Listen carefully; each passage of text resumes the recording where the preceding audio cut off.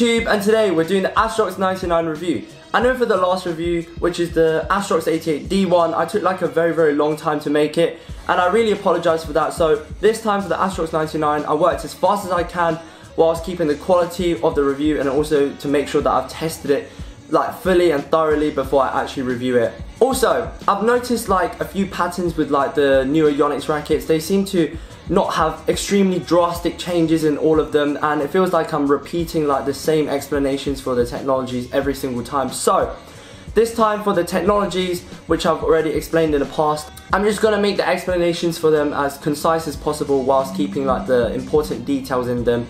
And just for this review, I'll focus on mainly what's changed and how it actually plays. So let me just tell you a bit about this racket first before I go into the actual review part. So this racket has a stiff shaft, basically the same as the Astrox 88D and also the Astrox 88S.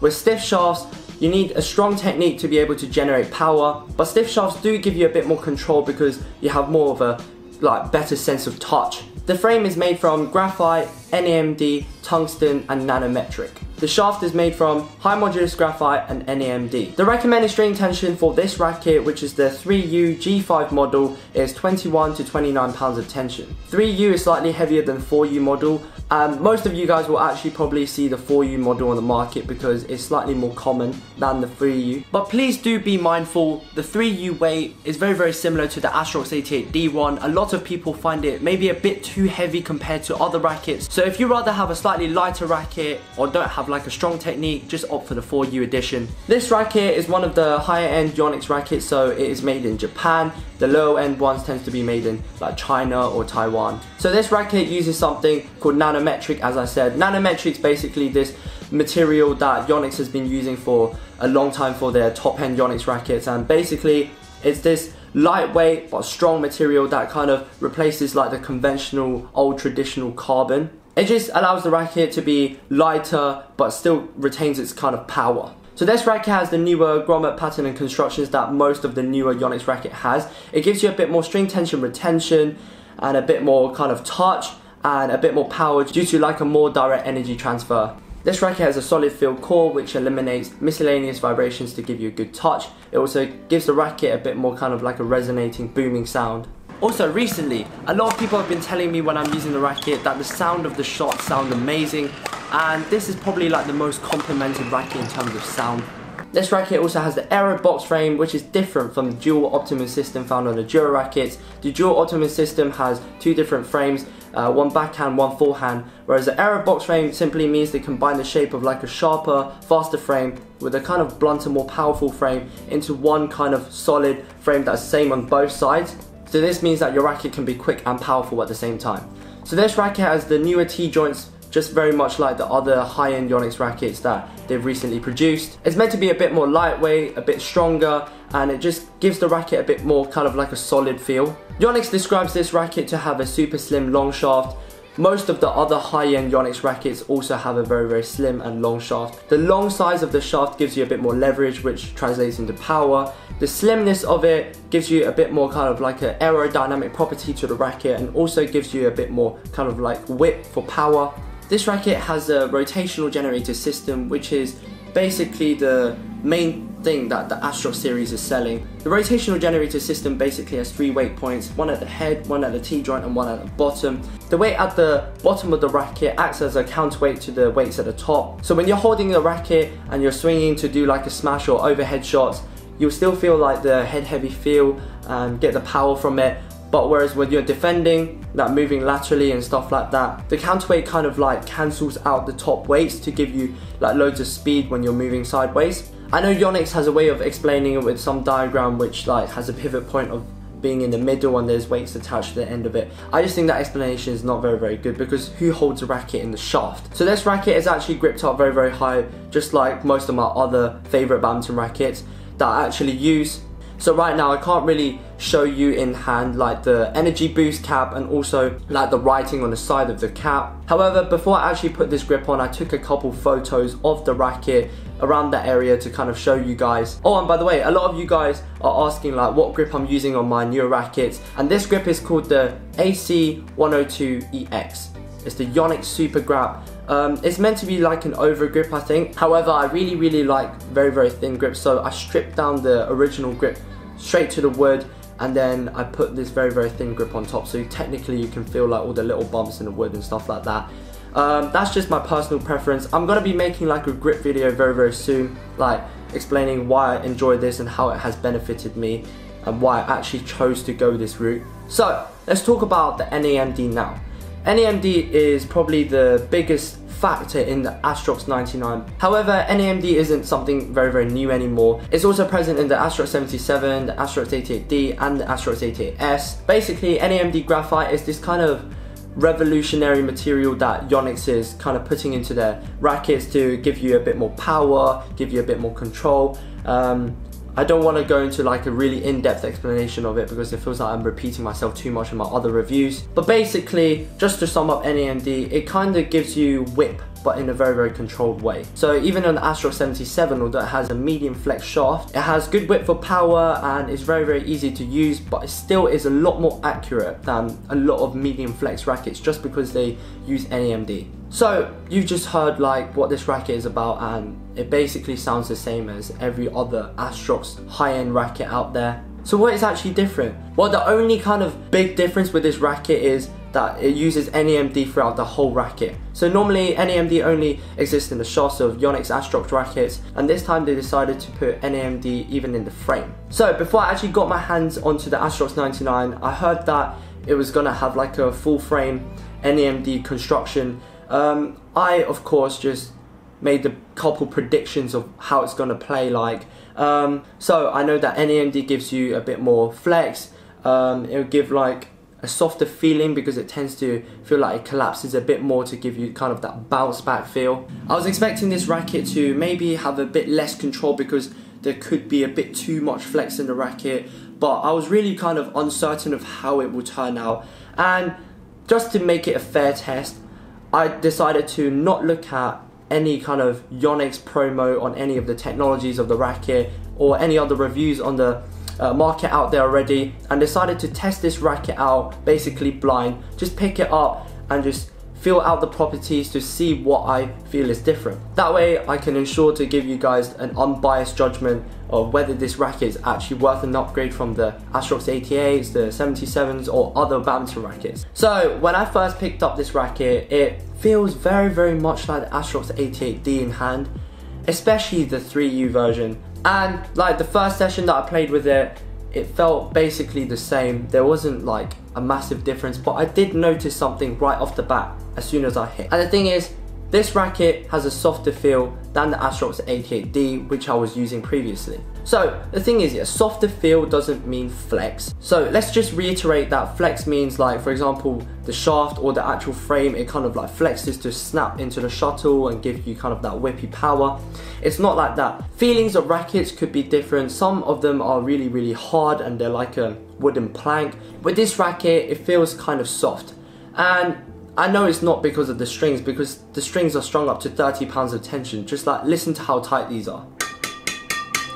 Yeah, it's very, very tight. So I know it's not because of the strings. So the only reason that this racket has a softer feeling than the Astrox 88D is because it has NAMD in the frame. So upon impact, the racket actually kind of collapses a little bit because the NAMD has this kind of like flex property to give you actually a bit more shuttle hold. So my predictions before this racket having slightly less control were completely wrong. So even in the first session, I could feel that this racket has a bit more shuttle hold, but it's like really when I actually got used to this racket that I could really use the shuttle hold to its kind of advantage. Like with this racket, upon impact, it feels like it's kind of doing this, you know what I'm saying, to kind of hold on to the shuttle before it actually releases. And that actually translates to more control and more touch so you can place your shots a bit better. It is a lot more precise than the Astrox 88s. So after testing this racket like quite a lot, I went onto the Yonex website to see what they're trying to advertise. They're trying to say that this racket has more power due to the full NAMD construction and surely enough they said it has more shuttle hold. See thing is, in terms of like the power factor, I really don't think that this racket has significantly more power or any more power at all than the Astrox 88D. So you might just be like, oh, so this racket is just basically an Astrox 88D but with a bit more shuttle hold, so it's just better in that sense. Well, no, because with the Astrox 88D, it has very, very, very good repulsion, so it's very, very good for doubles. Like it's very fast, so as soon as you kind of touch the shuttle, it snaps off and it goes onto the other side of the court really, really quickly. That's what makes that racket so powerful. With this one, the shuttle hold feeling kind of makes the power seem like less noticeable, um, but I do see the shuttle still going very, very fast. So yes, this racket is still a powerful racket. What I actually found is that the Astrox 88D is better for doubles because of the repulsion factor, whereas this one is actually better for singles because of the shuttle hold. For doubles, I feel like that this racket it's still usable for doubles because it basically feels like an Astrox 88D in terms of like the weights and the flex. But because of the shuttle hold factor, I do feel like this racket is more suited to like a more controlled kind of singles way of playing. And if you're the type of person to play a lot of doubles, then you might as well opt for the Astrox 88s, which has a lot more repulsion. Clears are effortless, but I do feel like the Astrox 88D has a bit more kind of snap and power for the clears. And also, I guess that applies to every other overhead shot as well um, like smashes as well. This one doesn't have as much snap as the Astrox 88D. It has more of like a holding feel so you can place your smashes a bit more carefully along the lines for singles for example. Drop shots, I think this racket is very very good for that because you can like kind of feel exactly where the shuttle's gonna go a lot better and you can kind of like be more precise with that. Drives is nothing really that special. I do feel like it's not as good as the Astrox 88D and the Astrox 88S in terms of drive because the repulsion factor is minimized. So net shots for this racket is alright. If you hold the energy boost cap, which means like you're shortening your grip, um, it can help to give your racket a bit more speed. But overall, I can say this racket is just kind of sluggish for doubles and I prefer to use it for singles in that case. Backhand is very very controlled especially like the downward shots. However I do find with this racket in terms of upward backhand shots sometimes it struggles compared to other high-end Yonex rackets. Defense really nothing that special, nothing to kind of comment about. This racket is a great racket as a whole, but is it a good upgrade from like the Astrox 88s or the Astrox 77? Well, not really. I really wouldn't recommend you to spend more money to get this racket if you already have those because those other rackets are also really really good. To be honest, I would say that if you have the Duora Z Strike or like even the Duora 10, maybe the Z Force 2, I don't think you really need to upgrade, but this racket does play better than the Z Force 2 because this is newer, implements better technology and it's just a bit more refined. The recommended retail price for this racket is actually quite expensive just like I predicted before as well because for NAMD, like Yonex has been telling us like it's a new revolutionary material, surely it's gonna be more expensive. And yes, it turns out to be retail price of £194. That's quite ridiculous. Like, I know a lot of you guys can't be spending so much money on a racket especially, and so I recommend you this place to buy rackets. It's called Lung Tang. They're a Hong Kong based badminton shop that offers international shipping to the world. They only sell genuine products and the thing is, I recommend them because they sell these products at a much lower price than basically any other place. Like, you can get an Astrox 99 for just over hundred pounds I think which is like kind of a massive discount compared to 194 pounds I would recommend you to get this racket if you have like an older model of a racket or you just don't feel satisfied with your current one. But I mean, do check out my other reviews and see actually what suits you because rackets are very very personal and it's a long-term investment. Oh, I just remembered, just before I end this review, I have to quickly talk about my strings. So you guys might have followed my Instagram at poisoncobra.ken or my Snapchat at kenkasaputra where I kind of showcase stuff about my racket. So on the racket here, you can see that I have two strings. A lot of people nowadays are using a new Yonex string called Aerobite which has a thinner string on a cross string and a thicker string on a main string.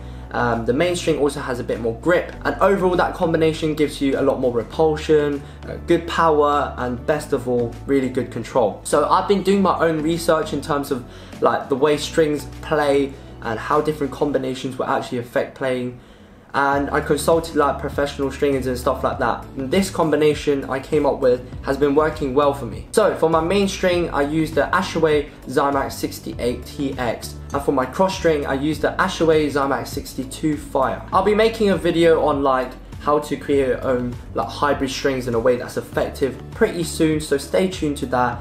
This combination is great I've played with it for couple weeks now and it's been holding strong. There hasn't been like signs of wear and tear as much as, for example, like the Aerobite string, which wears and tears very, very quickly. Also, if you want to stay up to date to the newest badminton releases, make sure you sign up to Lungtang's newsletter on their website. It's completely free and I promise they won't spam you with irrelevant stuff. Thank you so much to my Patreons who's been supporting me for so long. They've been donating every month to help me make and improve these videos. Basically, if you click on the link in the description, you can visit my Patreon site where you can donate even as little as $1 a month to kind of support me and best of all you guys get the rewards of having personal contact with me um, you can have like Skype calls with me sign letters I recently sent like merch prototypes to my Patreons and also like exclusive content such as uh, interviews with top players and also first impression videos for when I get products. Please like, subscribe and tell friends about my channel. Bye bye!